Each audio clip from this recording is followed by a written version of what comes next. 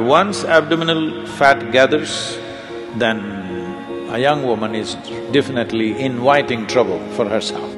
But if you're just gymming and doing muscles and you're looking fit, that's not good.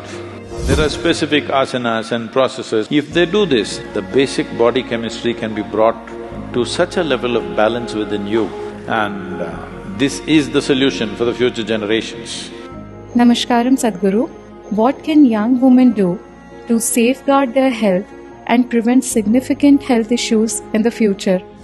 In today's world, the way the society is structured, the way the many aspects of life has arranged itself, women have to care much more about their health than men. Simply because nature has invested a very elaborate reproductive system in a woman. We were all born out of a woman's womb, so there was an elaborate system inside. Normally, if you look back, they would start using the reproductive system by the age they were 15, 16. It was put to use probably throughout their life, at least throughout their reproductive life, in some way it was put to use.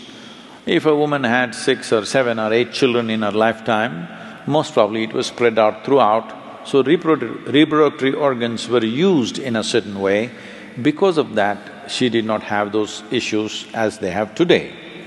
Another reason is, uh, both men and women, of course, were working hard physically, physical work.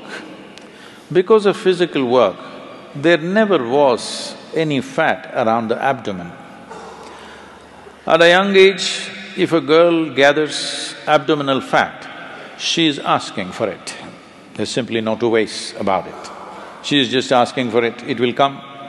How soon or how late depends on various genetic and other aspects of life.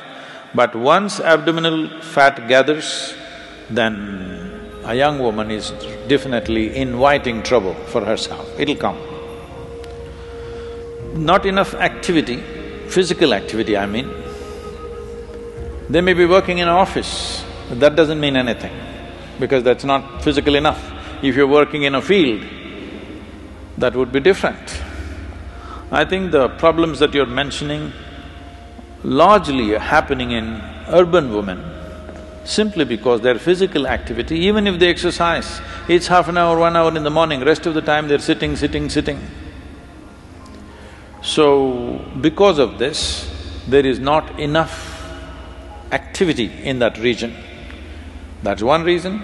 Another thing is reproductive process is not made use of, that's another reason. So if you're not using your reproduction process, that is, if you're not bearing a child before you're twenty-one years of age, it's very, very important that you must do hatha yoga.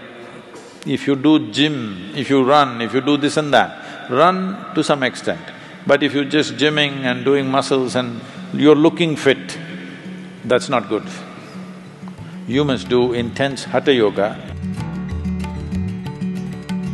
From the age of twelve, if a girl child starts doing hatha yoga, she will go through all those issues people who people, most of them think is a big issue and go through lots of struggles for every stage of development within themselves, they will go through this effortlessly.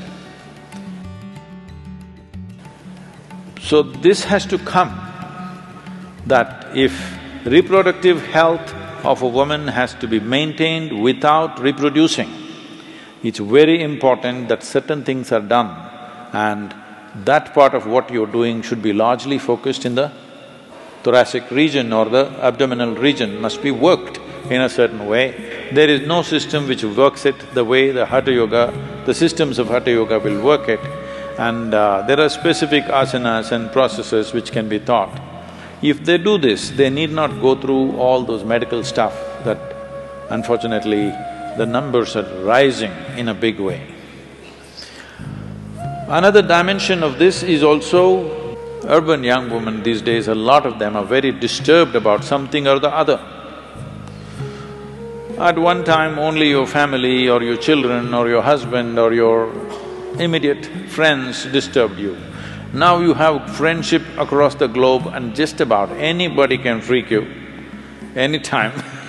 so just a message is enough that you worry about it for next three days, for whatever reasons, I don't want to blame it on any one thing. It has become a norm that everybody must be stressed. So this also can be very easily handled. The basic body chemistry can be brought to such a level of balance within you if you do the right kind of yoga. And uh, this is the solution for the future generations. Otherwise, this will rise because today I think including the rural, tribal, all kinds of women put together, the average childbearing age I think has gone up to twenty-two or so. But I believe in the next twenty-five years, it will go to thirty-five most probably and it's a very good thing. So if it goes up to thirty-five, then the number of these type of issues that young women will have will multiply many-fold unless they take care of themselves.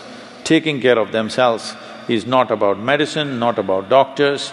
You must start yogic processes so that the body brings a certain balance.